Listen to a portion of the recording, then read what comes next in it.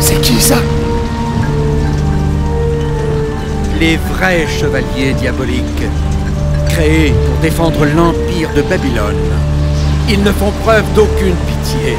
Ils ne connaissent que la destruction. Il est temps de se dire au revoir, fantômère